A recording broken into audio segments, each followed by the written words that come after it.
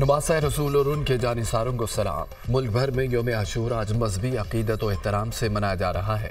तमाम छोटे बड़े शहरों में मातमी जुलूस निकाले जा रहे हैं।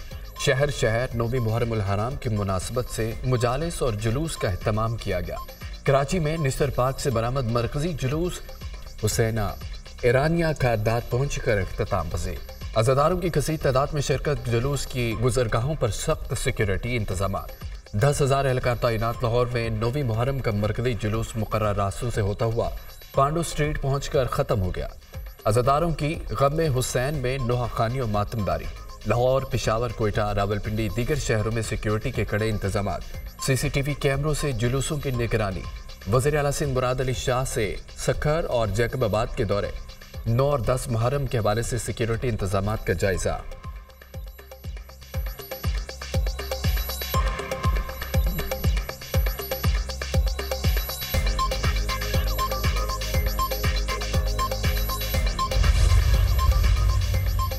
लाहौर समेत पंजाब भर में योम आशूर पर मोबाइल फ़ोन सर्विस मुकम्मल बंद न करने का फैसला, सिर्फ़ जुलूस और मजालिस वाले इलाकों में मोबाइल फ़ोन सर्विस मुअत्तल की जाएगी। वज़ीर अला पंजाब मरीम नवाज़ का सिक्योरिटी इंतज़ाम फुल प्रूफ बनाने का हुक्म। वजा करदा प्लान और एस ओ पीस पर हर सूरत अमल दरामद किया जाए। मरीम नवाज़ की हिदायत नोवी मुहर्रम के जुलूसों के दौरान जैकबाबाद और गिरदोनवा में मोबाइल फ़ोन सर्विस मुअत्तल रही। शिकारपुर में जिला भर में मोबाइल फ़ोन और इंटरनेट सर्विस बंद। वजी दाखिला मोहसिन नकवी का इस्लामाबाद में नोवी मुहर्रम के मरकजी जुलूस का दौरा। अजादारों की हिफाजत के लिए सिक्योरिटी इंतज़ाम का जायजा वजी दाखिला ने जुलूस के रूट का मुआयना भी किया। जुलूस के मुंतजमीन का सिक्योरिटी और दीगर इंतज़ाम पर इतमान का इजहार। मोहसिन नकवी ने मरकजी जुलूस का फजाई जायजा भी लिया। वजी दाखिला की जुलूस के अख्ताम तक सिक्योरिटी एहलकारों को ड्यूटी पर मौजूद रहने की हिदायत। योम आशूर पर खसूसी सिक्योरिटी प्लान पर अमन अमल दरामद यकीनी बनाया जाए। विफाक मुल्क भर में क़्याम अमन के लिए हर मुमकिन ताउन फ्राहम कर रहा है। मुल्क भर में जबता अखलाक पर सख्ती से अमल दरामद किया जाए। मोहसिन नकवी की हिदायत।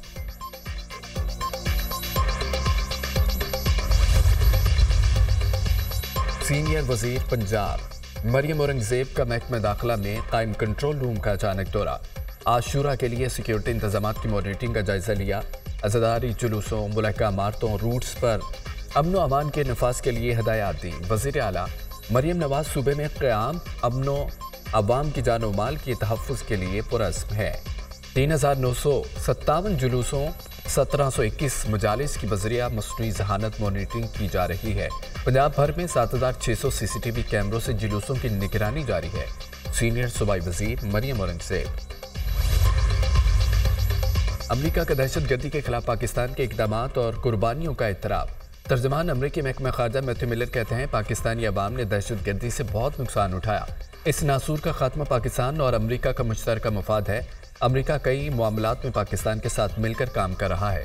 अमरीका पाकिस्तान की मीशत बेहतर करने के लिए भी कोशा है, तालिबान अपनी सरहदें दहशत गर्दी के लिए इस्तेमाल न होने दे। इलाकई सलामती को लाक खतरात से निपटने में पाकिस्तान के साथ हैं, मैथ्यू मिलर की वाशिंगटन में प्रेस कॉन्फ्रेंस।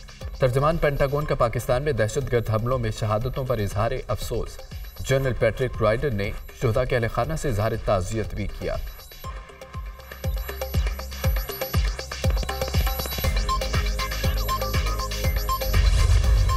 पीटीआई पर पाबंदी के लिए पार्लियामेंट में इतिहादियों से मुशावरत करेंगे। पीटीआई का मकसद सिर्फ़ और सिर्फ़ इकतदार है। पीटीआई ने मुल्की सालमियत को बानी के साथ मंसूब कर रखा है। पीटीआई मुल्की सालमियत के खिलाफ जा रही है। आइन की खिलाफ वर्जी जो भी करे, उस पर आर्टिकल छः लगना चाहिए। आर्टिकल छः उन लोगों पर लगता है जिन्होंने बावन बिल पास करके असम्बली को तोड़ा। बानी पीटीआई, आरिफ अलवी और कासिम सूरी ने आइन तोड़ा। नौ मई को बर रास्त पाकिस्तान पर हमला था। हमारा निज़ाम नौ मई के मुलजमान का दिफा करना है। कोई इदारा भी मुल्क की सालमियत और आइन से मावरा नहीं है, जब एक मुंतब वजर अजम को हटाया गया। उस वक्त अदलियाँ कहा थी मामला हमारे इकतदार का नहीं, मुल्क के वजूद का है। पाकिस्तान है तो हम हैं। पाकिस्तान के बगैर हमारा वजूद मुमकिन नहीं। वज़ीर दिफा ख्वाजा आसिफ की प्रेस कॉन्फ्रेंस।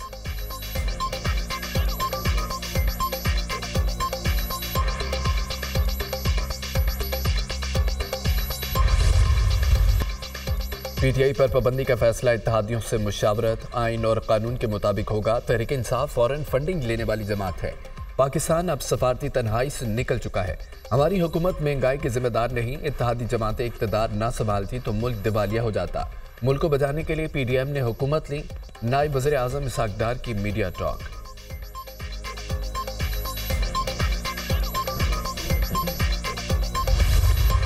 तहरीक इंसाफ पर कोई पाबंदी नहीं लगा सकता। फॉर्म सैंतालीस के तहत बैठे लोग बातें कर रहे हैं, वो पाबंदी लगाएँगे। ये अपनी शोहरत बरकरार रखने के लिए इस तरह के बयान देते हैं। ये खुद मैंडेट चोरी करके बैठे हैं। आपसे महँगाई, पेट्रोल, डॉलर, मीशत कंट्रोल नहीं हो रही। इलेक्शन कमीशन और इंतबात से मुतालिक हमारा मौक़ दुरुस्त साबित हुआ। अलियमीन गड्डापुर का चीफ इलेक्शन कमिश्नर से मुस्ताफ़ी होने का मुतालबा। सुप्रीम कोर्ट में एडहॉक जजेस लेने के हक में नहीं हूँ।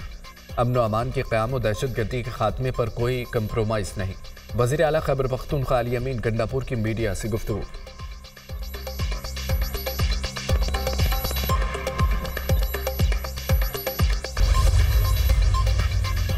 2018 और मौजूदा इंतबात के नतज ने मुदाखलत का पोल खोल दिया। ताकतवर हल्के समझ जाएँ इस सियासत में उनकी मुदाखलत मुल्क के लिए नुकसानदेह है। अजम इसकाम खैबर पख्तूनख्वा के इलाकों में बेचैनी में इजाफा करेगा। मौलाना फजलरहमान की गुफ्तु जमीयतलमाम की सूबाई मजलिस आमा का अजलास जे जो आई सरबराह मौलाना फजलरहमान की खसूसी शिरकत। मुल्क की मजमू सूरत हाल पर तबादला ख्याल। कमर तोड़ महँगाई, अमन अमान की सूरत हाल दीगर अमूर पर आइंदा के लाहमल पर गुफ्तु दस अगस्त को मुर्दान में किसान कन्वेंशन, ग्यारह अगस्त को पिशावर में ताजरान कन्वेंशन का फैसला, अठारह अगस्त को लकी मरवत में अमन जिरगे के इनका का भी फैसला।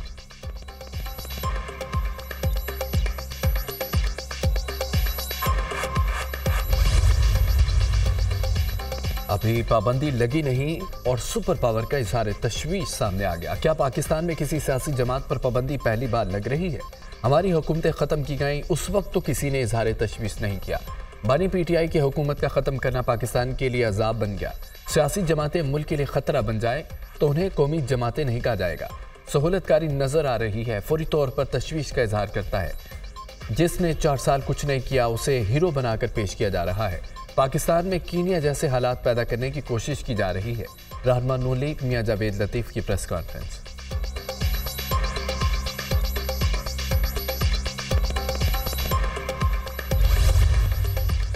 Toshakhana reference, NAB team की डिप्टी डायरेक्टर मोहसिन हारून की सरबराही में डियाला जेल आमद। बानी पीटीआई और बुशरा बीबी से तीसरे रोज भी तफ्तीश।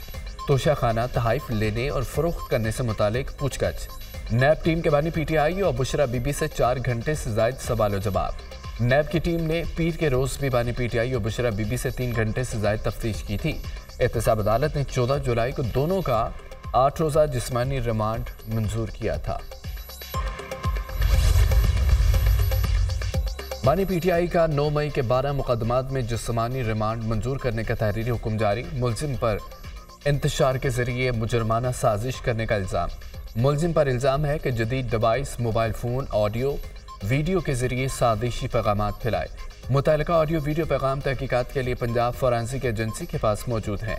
मुलजिम से ऑडियो, वीडियो अपलोडिंग में इस्तेमाल होने वाले आलात की बरामदगी होना है। इंसाफ के तकाज़ों को पूरा करने के लिए तफ्तीश में कोई रुकावट नहीं आनी चाहिए। बानी पी टी आई को पच्चीस जुलाई को वीडियो लिंक के ज़रिए दोबारा पेश किया जाए। जज खालिद अरशद ने चार सफ़ात पर मुश्तमिल तहरीरी फैसला जारी किया। रिहाई के बाद सनम जवेद, फैमिली के हमरा। के पी हाउस मुंतकिल वजी अला खैबर पख्तूनख्वा अमीन गंडापुर की हिदायत पर सनम जवेद की मेहमान नवाजी की गई। अलियमीन गंडापुर ने सनम जवेद के वालद और शोहर के साथ रबता किया था। मुल्क के मुख्तलिफ़ हिस्सों में मानसून बारिशों का दूसरा स्पेल। जोब में तूफानी बारिशें, नदी नालों में तुगयानी।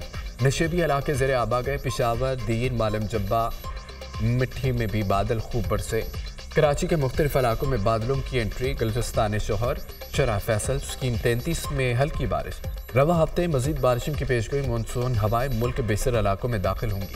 इस्लामाबाद, पंजाब, खैबर पख्तूनख्वा, गिलगित बल्तिस्तान और कश्मीर में बारिशें मुतव मूसलाधार बारिशों से पंजाब और जाई, जेर सिंध के निशेबी इलाकों में अर्बन फ्लडिंग का खदशा।